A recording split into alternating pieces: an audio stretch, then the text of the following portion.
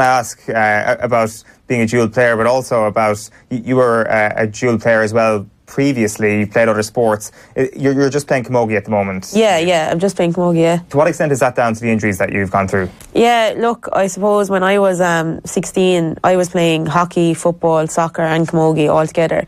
I, that's why I went into PE teaching. I'm just sport, a sport fanatic, really.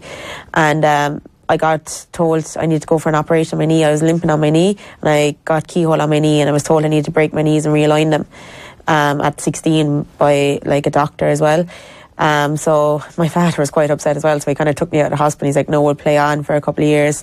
And patch it up, kind of a thing. Go to a few physios and stuff like that. Like, but uh, Very Irish. yeah, very Irish, like a pure Irish daddy, like you know. Then um, it wasn't really, it wasn't sufficing really, like you know. Then I went to play the match against Meath in the intermediate in one of the Division Two league, and I got a really bad bang there. Uh, a girl kind of stuck out her leg as I was running past her. And I just got a concussion that game. I didn't walk for like, or I didn't jog for like 15 months after that. Like, So, so when was this? This was a couple of years after the initial. Yeah, so the been, what, like- 18, 19 years old. at um, at the time, then I was about maybe 20. Right, okay. And uh, it was a couple of years after, and uh, it was just all down to it. So then I went and got my, I got done in Santry in Dublin and got my knee, my knee came out of place, had to be realigned and stuff again. And uh, the doctor told me I shouldn't be playing anymore. And he said, like, there's just too much wear and tear. There's no cartilage behind my kneecap. Um, so it was really, really tough to take at the time because everything in my life was sports.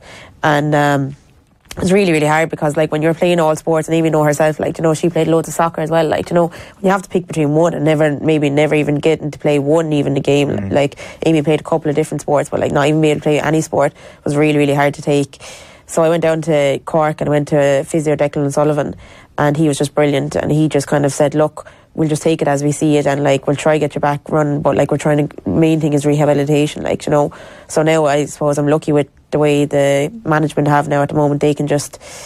I have arthritis in my knee, like you know, so it could be really, really bad some days. Some days I mightn't be after sleeping all night. Some days I might be good and I'm able to do training. But he, they'd be very good. Like they'd be allowed me to go to the gym or go on the bike instead of doing pitch sessions and stuff. Yeah. So it's all about minding. So like I don't know if I have one year, if I have three years. Like you know, uh, hopefully I'll have a bit more than three years. But like I don't know. I just keep playing until I can't play anymore. I suppose. And what was the end game if it didn't work out? As in, so in Santry they said that you shouldn't be playing. What happens? What, what was the worst case scenario if you did keep playing in their view? their view is that I'm going to be in a wheelchair by the time I'm 30. That's what they said. Like, by the time you're 30 or 31, you won't be able to run anymore. Like, you know, it'll be just continuous wear and tear. And, like, thankfully, there's new methods coming out. And I did an interview last year, and someone wrote to me on uh, Facebook and they said to me that they read my interview and they had a similar problem with their knee. And they recommended a, a clinic in Dublin that actually insert cartilage into your knee to kind of protect your kneecap. So I'm going to be looking into that now, maybe ne- next year at the off season as well. Like, you know, so uh, there's always different methods that are coming out.